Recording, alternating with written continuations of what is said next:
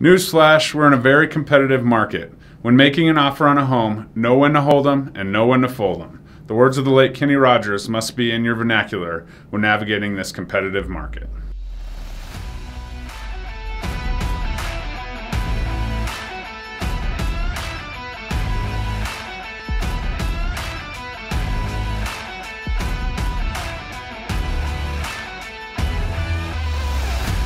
Hey, thanks for checking me out today. As always, please like, subscribe, comment below if you haven't done before. I work very hard to answer all your comments and will forever be grateful for your engagement. Across social media channels of choice, just click like, find me, I'm there at JKCO Realtor. Today, we find ourselves in a competitive market. Multiple offer scenarios are almost the norm.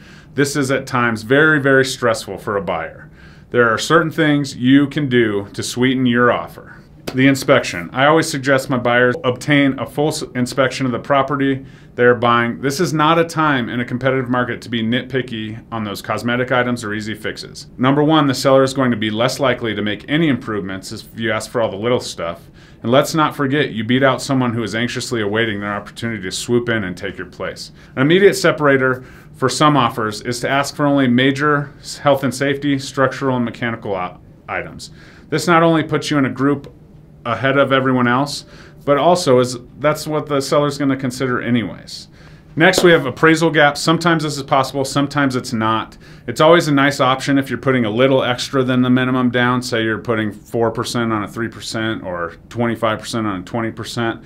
It may be possible to look at the paper on the day we make the offer and nothing changes if the appraisal comes in a little bit low. We can talk about that. Sometimes, if we're at the minimum down payment, that would require cash out of pocket. Not always possible and not always going to happen in the end, but something that really boosts people's offer up to the top. Flexibility with possession. This is a huge one and sometimes a free way to move to the top. When you buy a home, your first payment is not due until the first day following the first full month you have owned the home.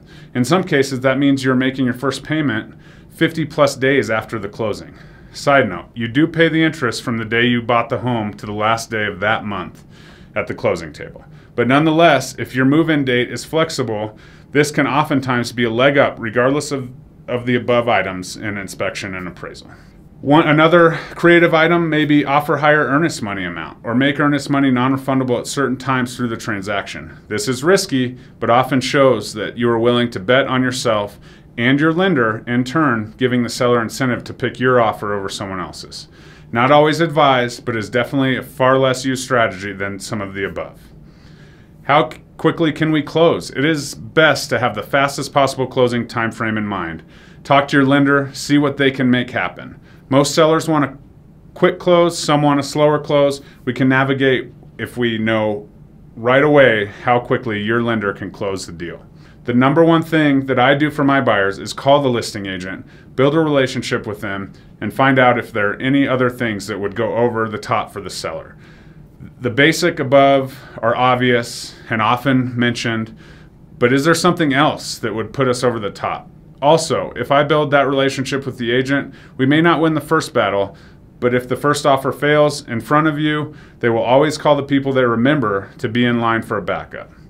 At the end of the day, this is going to be a crazy process for you. If you come into it prepared with your rules already, you know what we can and can't do, what we can and can't offer, it will be much less stressful. Then you have to remove some of the emotion from the situation and look at it logically. Paying over asking price is not the end of the world unless it stretches you too thin.